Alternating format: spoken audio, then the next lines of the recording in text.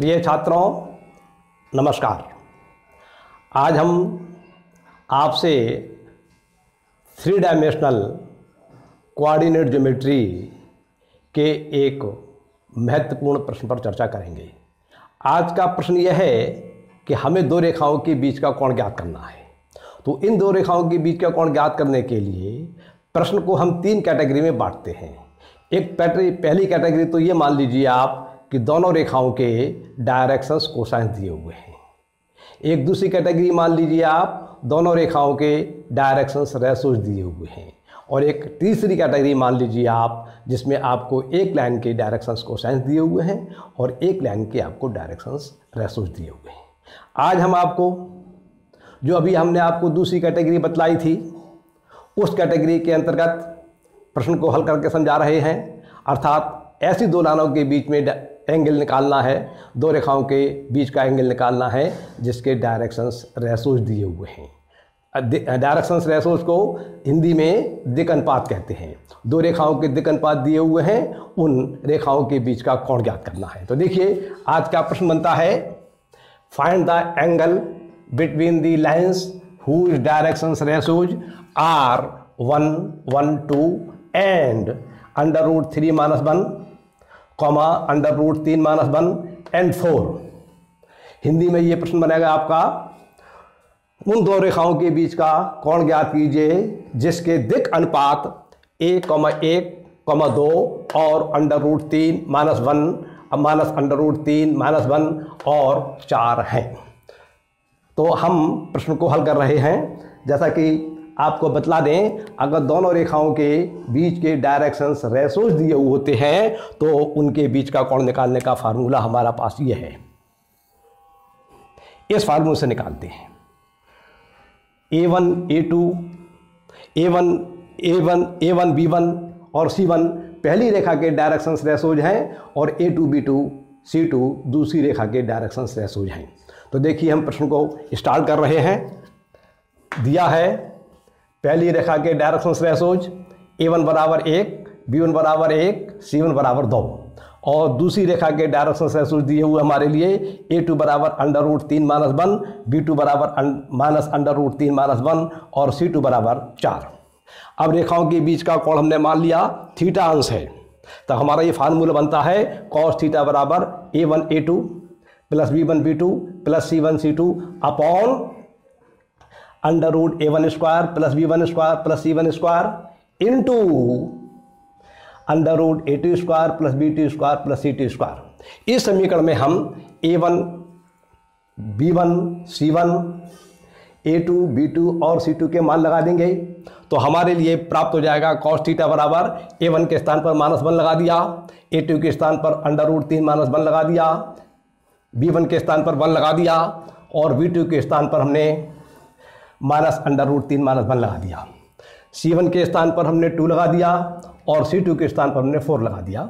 और नीचे A one square plus B one square plus C one square है, इसलिए आपका हो जाएगा वन का स्क्वायर प्लस वन का स्क्वायर प्लस टू का स्क्वायर और यहाँ पर आपका है A two square plus B two square plus C two square ये वाली वैल्यूज़ हमने इसमें सब्सटीट्यूट कर दी। और हमारा ये सिंप्लीफाई करने के बाद हो जाएगा अंडर रूट तीन माइनस वन इसका हो जाएगा माइनस अंडर रूट तीन माइनस वन, और ये दो और चार का मल्टीप्लाई करेंगे एट आ जाएगा प्लस का सूत्र आ जाएगा ये। अब आप देखिए, अंडर रूट वन का स्क्वायर वन हो गया, वन का स्क्वायर वन हो गया टू का स्क्वायर फोर हो गया। इसको जब हम खोलेंगे एक्स माइनस वाई के स्क्वायर की आइडेंटिटी से तो ये हो जाएगा एक्स स्क्वायर मतलब अंडर रूट तीन का स्क्वायर जो तीन के बराबर होता है, इन दोनों के मल्टीप्लाई का दूना दो अंडर रूट तीन ही आ जाएगा, इसका स्क्वायर ही आ जाएगा।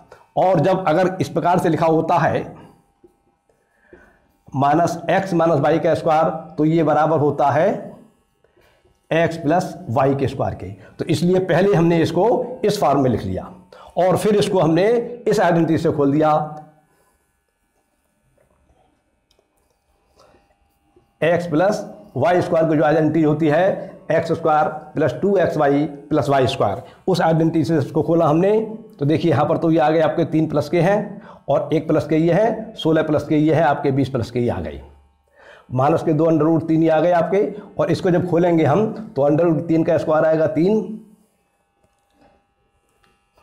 और इन दोनों का मल्टीप्लाई का दोनों आएगा दो अंडर रूट तीन और इसका स्क्वायर आएगा एक।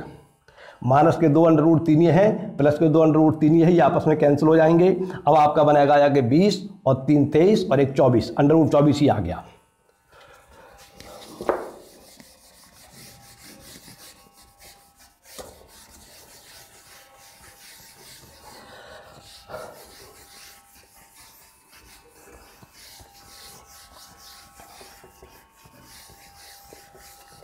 तो आपका आ गया कॉस थीटा बराबर six upon under root six under root twenty four ये बराबर आ जाएगा सिक्स आपका ये आ जाएगा और ये हो जाएगा आपका अंडर रूट सिक्स और इस अंडर रूट ट्वेंटी फोर को लिख सकते हैं हम टू अंडर रूट सिक्स तो ये आपको लिख देंगे हम टू अंडर रूट सिक्स और ये सिक्स ये आ गया आपका इस अंडर रूट सिक्स और अंडर रूट सिक्स की मल्टीप्लाई हो जाएगी सिक्स और आपका टू ये आ जाएगा। इससे कैंसिल हो जाएगा। एक ऊपर बचाएगा हर में, अंश में तो ये आपका हो जाएगा वन अपॉन टू तो कॉस थीटा बराबर आया आपका वन अपॉन टू और ये बराबर होता है कॉस सिक्सटी के। कॉस थीटा बराबर आया आपका कॉस सिक्सटी के।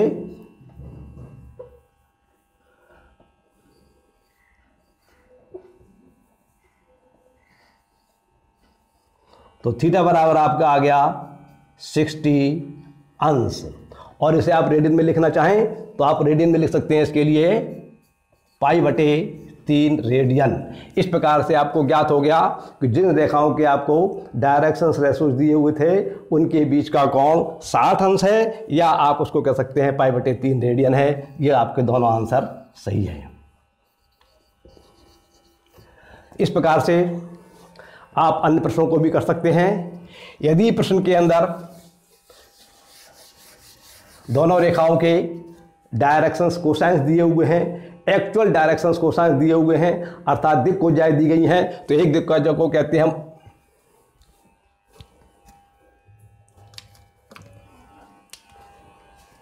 एक दिक को जाओ कहते हैं हम एल वन एम वन और एन वन और दूसरी रेखा की दिक को जा होती है L two M two N two तब इन दोनों रेखाओं के बीच का कोण ज्ञात करने के लिए हम इस सूत्र का सहारा लेते हैं। और थीटा बराबर L one L two plus M one M two plus N one N two कहने का तात्पर्य यह है कि यदि हमारे लिए रेखाओं के एक्चुअल डायरेक्शंस कोसाइन दिए हुए हैं तो हम इस सूत्र से निकालेंगे और यदि रेखाओं के डायरेक्शंस डायरेक्शन दिए हुए हैं तो हम इस सूत्र से निकालेंगे।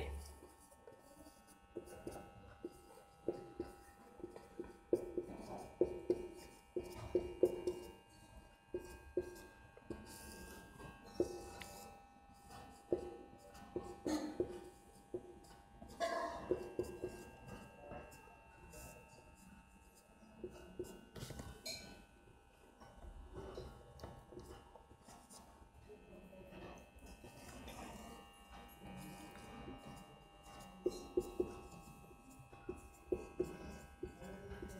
तो अब चूँकि हमारे लिए इस प्रश्न के अंदर दोनों रेखाओं के डायरेक्शन रेसूस दिए हुए थे, इसलिए हमने इस सूत्र का प्रयोग करके रेखाओं के बीच का कोण निकाल लिया। हमारे लिए ज्ञात हो गया, रेखाओं के बीच का कोण जो है हमारा, वो साठ अंश है और साठ अंश को हम पाई बटे थ्री रेडियन भी लिख सकते हैं। इसलिए इस प्रकार से ये प्रश्न हल हो गया आपका। इस प्रकार के अन्य प्रश्न आप पाठ पुस्तकों में से देखकर हल कीजिए, उत्तर मिलाइए समझने का प्रयास कीजिए। आपके प्रश्न अगर आप इस प्रक्रिया के हिसाब से करेंगे तो 100 परसेंट सही जाएँगे। आप इन पर विचार करिए। अगली बार आपको हम कोई एक नया प्रश्न, महत्वपूर्ण प्रश्न लेकर चलेंगे। आज के लिए यहीं पर विराम देते हैं। धन्यवाद।